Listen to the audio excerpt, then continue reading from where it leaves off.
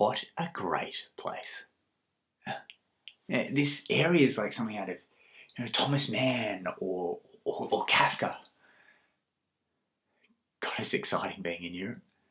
So alive, isn't it? So you know, pulsating. I've had a great morning. I went and saw your Roman mosaic. Mm.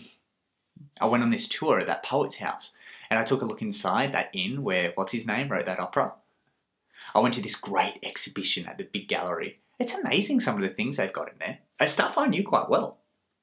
And that altar they've got in there. But there was this performance art thing.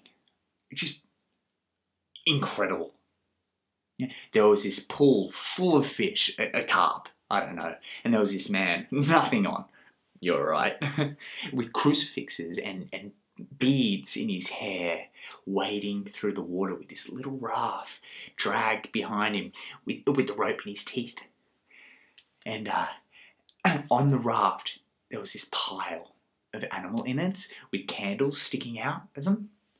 And then there was these other people dressed as astronauts and red Indians, and they ran round and round the pool screaming, and they lit this fire and threw copies of the Mona Lisa in it. And I don't know how they did it, but the water turned bright red.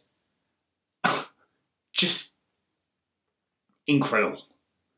uh, you must see it.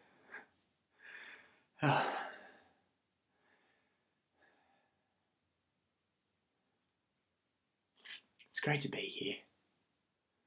Everything's so exciting. I'm keeping every little thing I get, every little item, every train ticket, gallery ticket, bus tickets, every postcard, every poster from every bar and every cafe.